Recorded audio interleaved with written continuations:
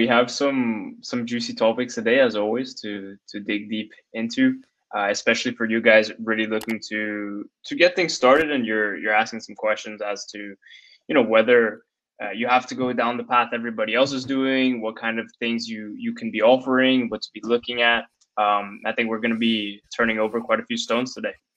Yeah, and and the, the whole topic, I mean, really the, the whole gist of it, and, and and what we want you to walk away from this free live training with is an agency that can cut through the noise, that can cut through the bullshit of a space that look, I don't believe the agency space is saturated, but if you're gonna be the typical person who's gonna offer, you know, Facebook ads to ecom clients, you can get in the queue, right? So we're gonna show you how you know we're able to cut through the noise, how um, you know my students are able to build an agency that can grow exponentially uh, from the start, from the get go, without having too many clients, right? We're gonna show you how we can do that from the very start, and it comes down to building a monopoly agency and a lot of the stuff that we're gonna talk about in this free training. So without further ado, let's go right into it. Tony has prepared a, a few uh, little slides for us to follow along. Um, and there's three main topics that we're going to cover. So uh, Tony can, can do the honors of uh, introducing those. Absolutely. Um, can we see? Yeah, let me put it on the stream. Okay. Awesome. Here we go.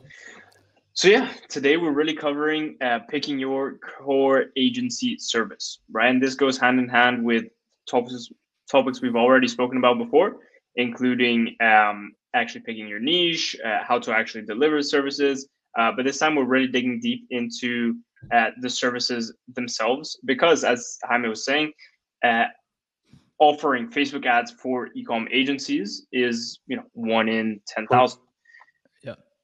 Whereas, by the way, we're not saying we're not saying Facebook ads. Like uh, a lot of people may be listening in and they, they may be thinking, "Oh shit, you know, Facebook ads doesn't work." Right? No, it's not that. It's it's just structuring it in the right way and making sure that the core, you know, the target audience to which we are going to, uh, can actually resonate with it and, and and can actually say, "Oh, this is the Facebook ads agency that I want," right? As opposed to, you know, being one in a million different other people uh, people offering the exact same service, but also to the exact same audience. And showing you that there are other things you can do right? If you don't want to to do facebook um, there are other ways to go down as well. And in terms of tackling this we we really wanted to break down uh, three different things. The first one being uh, one service fallacy and we'll go uh, right into that as soon as we're done here. Then the difference between social returns and revenue driven services. Um, and then finally just covering a bit on how much you actually need to know uh, to be able to to deliver these services. Um, but starting off with the one service fallacy, right? And I mean, this a uh, bit of a complex name for not that complex of, of a topic, but avoiding marriage while reducing complexity, right? And what I really wanted to get at with this is I've seen a lot of people ask me, like, do I need to offer um, this extreme thing where I'm offering Facebook, Google, TikTok, um, all these things packaged into one? Um, or am I going to be like extremely just going for this one offer and refusing to touch anything else? Um, and it really ties into something Jaime preaches a lot about, which is the 360 approach. Um, so yeah, man, you want to take it away on Let, this one specifically? Let's do it. Let's do it because I think there's a lot of uh, to uh, there's a lot of things to unpack, and and I think a lot of people are gonna walk away from this answer knowing, okay, it's not, you know, it's not binary. It's not yes or no. It's not black or white. It's not Facebook ads or nothing, right? Uh, or, or some other service. It's it's a mixture of both. And and that's this is specifically for ecom clients, right? Um, it can can you apply this to uh, you know restaurants? Can you apply this to a real estate? Yes. But why would you be in those uh, in those niches? That that would be my question right? But regardless of anything this is particularly for ecom clients. And the reason why that is is because at the end of the day if we're servicing ecom clients what we're trying to do is we're trying to get someone to take out their uh, card and pay for something online right? A lot of people think oh ecom is just this very complex thing and you should stay away from it and I say, no, don't do it, right? There's a lot of benefits to ecom. And in fact, there's a little bit of a higher bar to entry, which is good. So you don't get as many tire kickers. But to really make sure that you deliver an incredible service, you need to know about the stuff that I'm going to that I'm to be talking about. And what that is is making sure that you understand that when it comes to e- uh, to servicing ecom clients, you need to understand the whole ecom funnel. Right? From the first click to the last per, uh, to, to the last click, which is the purchase, right? And so it's not just about running traffic. A lot of people are completely blinded by their service, right? They go ahead and they they think they're a Facebook ads agency and they won't look at anything else, right? Maybe they've been told by someone that if you do something else, that increases complexity and you should stay, you know, focus on one single thing. There's there's truth to that, but you need to match, you know, you need to have a 360 approach. And what I mean by that is for ecom specifically, right? If you're, let's just say you're running Facebook or Google Ads, right? That is your flagship service. And, and we'll talk about in just a bit about what a flagship offer is, right? But if your flagship offer is Facebook and Google Ads, you shouldn't just look at Facebook and Google Ads as your medium to convert clients. And what I mean by that is, sure, that is your way of, of driving traffic, right? And that is the, the, the number one thing you're getting paid for, right? But the problem is if you drive that traffic to a, a shitty landing page, that that landing page is not going to convert right? Um, oh, that traffic is not going to convert, right? If that landing page is not optimized, that traffic is not going to convert, right? Not only that, but if if what you know, if if the client that you're working with, right, has told you that they want to advertise an offer, and and you know that the offer sucks, maybe you don't know, but you have a, a, a bit of a feeling that the offer sucks, and it's just not good enough for cold audience in a market that is pretty saturated, like I don't know, skincare, something like that, right? Um, then you need to make sure that you have input on the core offer as well. One of the things that I do that Antonio does that my students do is we get involved on the uh, selection process for the core offer for our clients, right? We don't just come into their ecosystem and we're told what to do. We don't do that. We're an agency owner. We're on the same level in terms of entrepreneurship as, as they are in terms of like decision making when it comes to our area of, of expertise and our influence, right? So we come in as also you know valued consultants and we tell them hey look i john i think you know this offer is solid but let's let's leave this offer as a as a cross sell or as an upsell or maybe further down the line, right? For the core offer, we need to have something that really sticks, something that is a, that has a viral component, something that you have content about, right? Something that you know has insane reviews, something that you know we can really put out into the market and really have people resonate with it, right? It must have a perceived value, not just the value in in in, in, in and of itself, but maybe it can be a little bundle, right? Or it can be you know something plus uh, an uh, you know an ebook or something like that, right? There must be perceived value to it that increases the the, the total value of those products, right?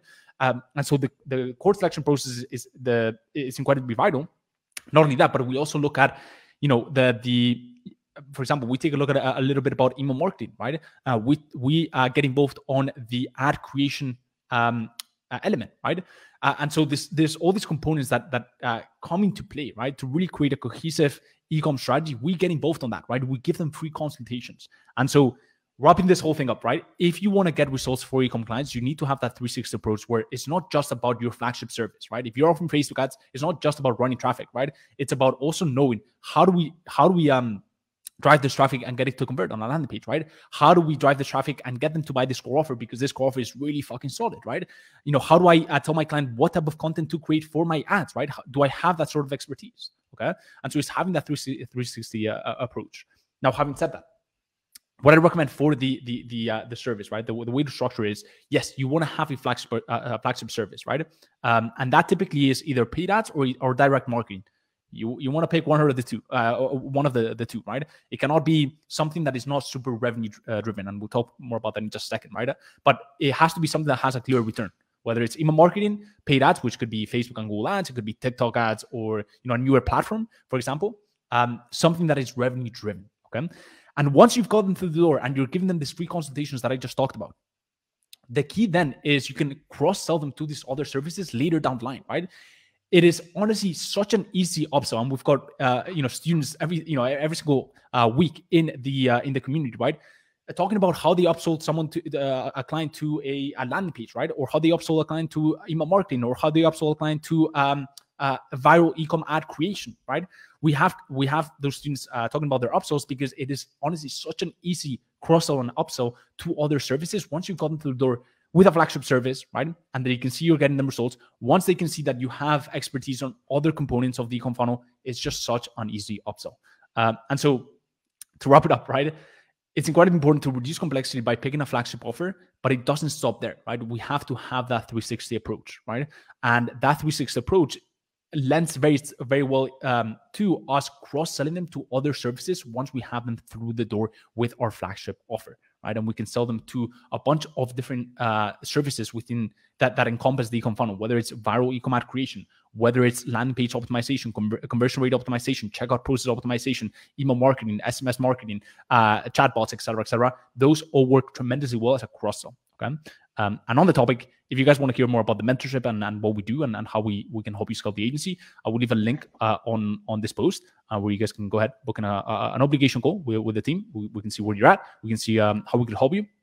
If it's a good fit, we can we can take it a, step further. But Tony, that is uh, that that that really is is the the first answer to uh, to the first question, a juicy topic, which is making sure that you pick a, fa- a flagship service, but it doesn't stop there. Having a 360 approach.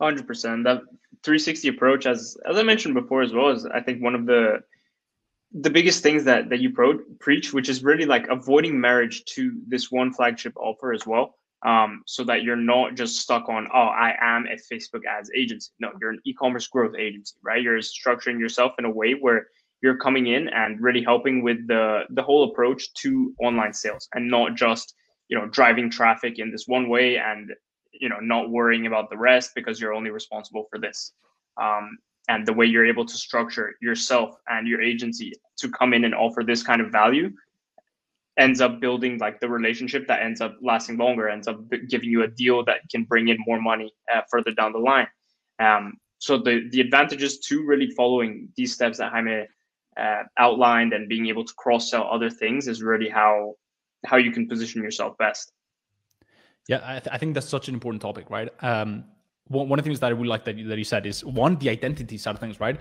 It seems dumb, but like just telling yourself, like reframing, right, from being a agency owner or Facebook ads expert to an ecom growth hacker expert, whatever you want to call yourself, right? Uh, at the end of the day, we're growing ecom brands. Uh, we're not running Facebook ads. We're growing ecom brands. Like at the end of the day, and, and it's not because you know we want to grow ecom brands is because at the end of the day the client that's what the client's going to be, be uh, ju- uh, judge you on right? It's not going to be the number of visitors you're driving to their website they don't really give a shit right? It could be 300 it could be 3000 right? If you convert the same amount of people they don't really care right? They care about the conversions and so just the the, the identity part is important. And another thing that you that you said that is absolutely vital is for people to understand that in the, the model that I just talked about, the 360 approach, right?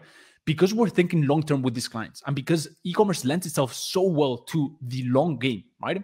When we come in and we we have uh, uh, such a uh, an understanding and uh, impact and influence on the different components of the e-com sales funnel, whether it's email marketing, the ad creation, the copy, the landing page, all this stuff, right?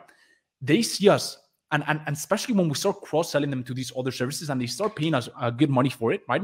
And we have almost full control of the whole funnel they start seeing us as a, as a indispensable part of of the, the, the equation right? And the switching cost increases so freaking much. Why would they get rid of tony if Tony is running their ads doing their email marketing give them consultations free consultations on their their product launches and their offers right? Why would they would need to hire a, a, a media buyer they will need to hire an email marketer. They will need to have a, a, an external marketing consultant that knows their shit, right? Just so much complexity. And not only that, but these people would, would probably not have half of the understanding that Tony already does about the brand, right? Yeah. And so that's the first thing, the switching cost. And then the second thing is, you know, in, in the program, we also talk about equity deals, right? We talk about taking a percentage of their business later down the line, right? And that lends itself so well when you have control of the the the um, uh, their business of their in a, in a marketing sense, right? We, you have control of their marketing because who who else would they give part of the business to if you are the rainmaker, if you make it rain for them, if you are the the person that's bringing in most of the customers, right? They're they're going to be happy, or at least you can force them, right? They're, but they're going to be happy to give you part of the business uh, uh, in equity, right? Later down the line, once you have them through the door, maybe a year, a year and a half, uh, you have this long relationship with them they're going to be super happy uh, giving you a part of, of, of the, the total business, which is really the long, long uh, play uh, when it comes to uh, to e-commerce. Hundred percent, and that's like the as Jaime was saying, the the long play, right? Like not optimizing for uh, just getting a deal through the door and trying to do as little as you can to be able to make it viable, but also to go the long way to be able to bring them leads, to be able to increase um, the metrics you're you're really looking for. Um, but based on on something Jaime was mentioning there, and something that's really important to touch as well as the different types of services, right? So we've touched here on um, really the revenue-driven side of things, which include the Facebook ads, uh, TikTok, Snapchat, email marketing, uh, SMS, all these things, right? But on the other hand, there's also uh, the the social side of things, right? So social media management uh, under an umbrella, right? Mm-hmm. And what this really leads itself to is people confusing themselves, di- differentiating between like making a post and creating ads that drive traffic somewhere.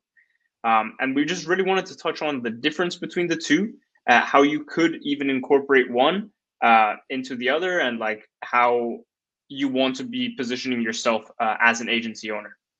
Mm-hmm. 100%. Look, it's again, it's not it's not one or the other, right? I've, I've got uh, people that come to me and they tell me, look, uh, I'm actually really passionate about um, you know running running accounts, and, and that's something that, that I'm great at, right? And I tell them, cool, but you're not going to differentiate yourself in that uh, with the service, right? You can differentiate yourself with a specific sub niche, right? So let's just say you pick, uh, you're going to help yoga brands, okay, all over the world. You can help yoga brands, and, and that's what's going to be one of the differentiators, right? That's what's going to be one of the components of your monopoly agency. It's not going to be the fact that you offer social media management, because quite frankly, social media management is never going to set you apart, right? And so, because the sub niche already sets you apart, right? The the the logical um the logical uh, step is to offer something that that where the money is very clear, the return is very clear, right? And the only way to have a very clear return is just simple. It's either paid ads or email marketing, right? Uh, and so the, the, that's really the importance of that flagship service being one of those, uh, uh you know, one of those services, right? When it comes to paid ads, it could be Google and Facebook ads, it could be TikTok ads, it could be Pinterest ads, it could be Snapchat ads. You could get a bit more creative with these newer platforms. Um, when it comes to direct marketing, mainly email, right? But you have to have one of those offers as a flagship because at the end of the day, that's what's going to give you longevity, right? When it comes to a service, you want it to be a service that has a clear return and has a fast feedback loop. Okay. So uh, the, the problem with social media man- management is it has a fast feedback loop, right? Because you can get likes, comments, and all this stuff, but it doesn't have the clear return right? Mm-hmm. Same way with, for example, SEO, right? A lot of people may say, well, Jaime, SEO is already is also a revenue driven service, right? Like you're getting more traffic and more traffic converts and blah blah, blah right? Cool, but it, ha- it doesn't have a fast feedback loop, right? And so uh, clients have to wait a long time to see any type of return, right? And as humans, we are naturally just impatient, okay? Uh, and so that is why it doesn't really work as a flagship service. Having said that, as a revenue driven, uh, as a flagship service, uh, it can be revenue driven, but as what we just spoke about, you know cross-selling them to other services right? When you come when, when you already have them through the door social media social media management can be a great addition right to to the equation right? Because now you have control over uh, their their content on social media. Maybe you're really good at generating organic leads and, and at warming up organic leads right? You're really good at you know driving people to a facebook group and from there converting them to to uh, calls or whatever it is right? Maybe you're really good at that as well and you can generate the money through through that right? That is a much more appealing offer as a cross sell Okay, so social return services do have a space. There's a space for them, just not as a flagship, because as a flagship, it's just it's almost like selling. Um, what's a good uh, expression? Like selling. I don't know. Uh, what's a good expression? Like selling water to uh, I don't know, someone who just cut that, cut that. but essentially, it's a really hard sell, right? And so you want to sell things that are easy, that just go, okay? And and and and the things that that go are things that are suited and personalized to a specific sub niche within ecom, but also that have a very clear return. And that is why you need to uh, you need to pay, uh, pick up either paid ads or direct marketing, and then as a, a cross sell, uh, there's space for a social return.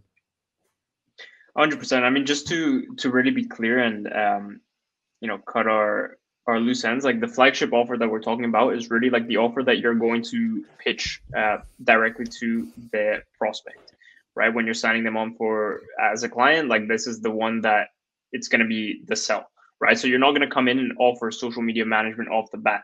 So you offer your revenue driven service as your flagship, as the thing that's coming in. And then once you're in, the ups, upsells and cross sells Jaime is talking about is really going to be what um, you're able to add on to what's already there right? So you mm-hmm. have your initial um, fee that you're getting paid for your flagship offer. And then while adding these cross sells and upsells, you're able to increase the fee that you're getting paid uh, because you're bringing in more value, you're doing more more work.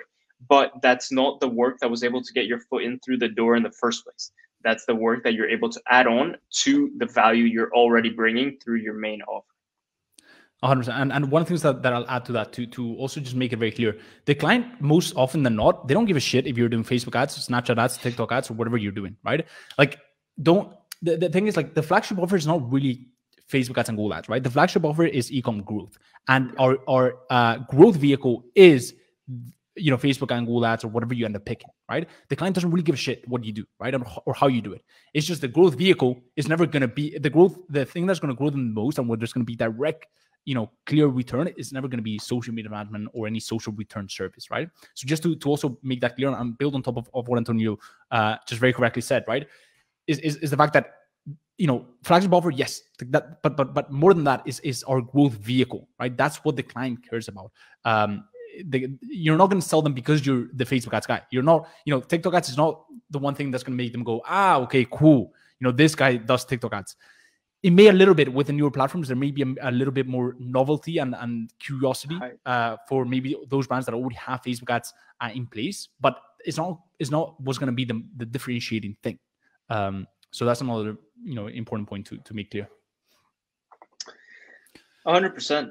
And um, that kind of leads us to to the last point um, on that, which is you know you're you have this flagship offer, you have your upsells, your your cross sells, everything you want to include, and then the last part really is like how much do you really need to know, right? Because I've had a lot of people come to me this year and be like, oh yeah, I'm looking to start my agency, but I'm just trying to learn a lot about Facebook ads. I'm just trying to learn a lot about Google ads or uh, TikTok or whatever it is, and these people often end up procrastinating their start time so much because they think that they need to consume all this information and be like this complete pro where in truth they're not really going to be able to get to the level where they they're able to execute extremely well until they've actually executed and tried things out for themselves yeah. right so i wanted to pitch the question to you like how much do you really need to know to get started if any at all so this will be